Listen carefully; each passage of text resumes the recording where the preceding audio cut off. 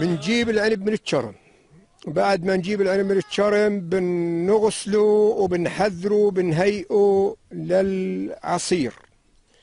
للعصير. بنشغل الماكنة الماكنة هذه بتشتغل على كهرباء.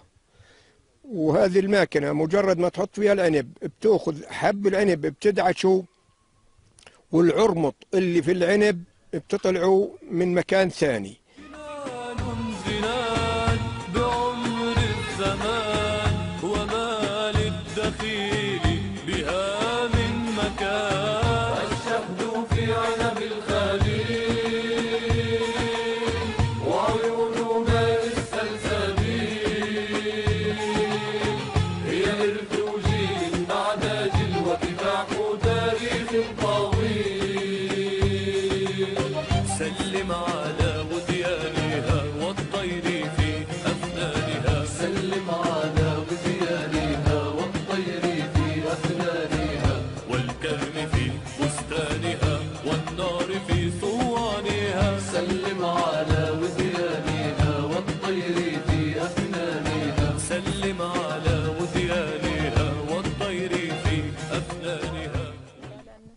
عصير العنب اللي بيطلع بنحطه وبنغليه غلوة كاملة.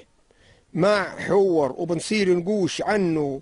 كل الزوف اللي بيطلع منه لما يصير مي آه، رووق صافي. طيب ليش بتحطوا الحور فيه؟ الحور مشان يصفيه. حور تراب أبيض مشان يصفيه. مشان يصفيه لأنه بيطلع منه كل العشر. بيطلع منه كل العشر. حور تراب. تراب أصفر على بياض. بنستخدمه للشغلات الدبس لشغلات ال- الملبن. للرووق اللي بيطلع من العنب.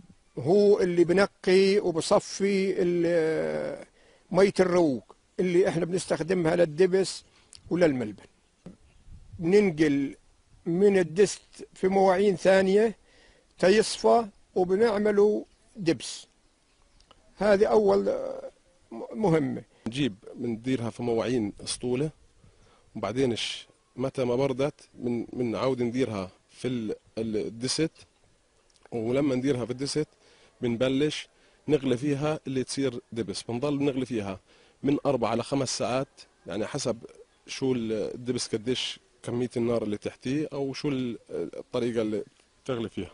يجي بده يستوي بنصير نطول من الدست في صحن ونحركه ونبرده لأنه دمت وهو سخن ما ببين معك ال- إنه استوى أو لا بس يبرد ببين كيف إنه استوى أو لا وبس يبرد بعدين بنيجي بنعبيه في مطربنات وفي جزايز في جناني جزايز وبنوزعه للسوق يعني بيجونا لل- للبيت بوقتوه وبصير في مهرجانات. بنروح إحنا في المهرجانات ال- الدبس. الشهد في عنب الخليل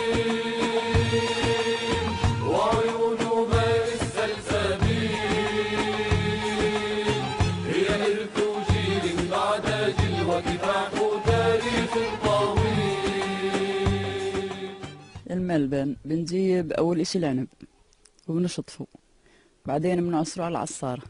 بعد ما نعصره في ناس بحطش عليه حور بطبخه طوالي بس أنا لا بحط عليه حور ليش؟ عشان الحموضة كلها والوسخ يطلع منه. فأنا بحطش سكر من مرة. بحط يعني سطل مية على الطنجرة ولا أحط سكر. لأنه بكون حلو كثير. وبعدين بالنسبة لل لسطل المية إله خمس أواق سميد. بالضبط لأنه إذا بتحطي أكثر أوقال يا بيجي شديد يا بيجي طري. فعياره خمس أواق وبعدين بنحط عليه بحط عليه قريش وبحط عليه السميد وال اللهم صل على سيدنا محمد آه، بحط سمسم بحط مكسرات جوز لوز بحط ينسون وبرشه رش. لما اصير أعمل برشه رش على في الدست. وبعدين واحد بضل يحرك. لأنه لو بوقف عن التحريك بلزق. فبضل يحرك يحركه لما يستوي. بعد ما يغلى ويصير يعني يستوي بصير ينقلوا فيه بسطوله ونمده على على المشمع. فبطلع يجنن. وبعدين بعد ما ينشف بقعد يومين على الحيط. بعدين بنشره على الحبال عشان ينشف لأنه من حد بيكون مرطب. نقلبه وبنشريه. لما نشريه بنشف. بعد ثلاثة أيام أربعة أيام خلاص بنلمه وبنصفطه وبنكس- بصير نحط كيلو ونص كيلو قديش الواحد بده وبنحط في أكياس وبنغلفه في الماكينة وبنسوقه. بيجوا يعني بيجوا لي من غزة بيجوا من جنين وبيجوا من نابلس بيجوا من الخليل بيجوا من المكان لأني عامل كروت أنا وموزعه على كل واحد بيشتري بوزع كرت. في عنب الخليل.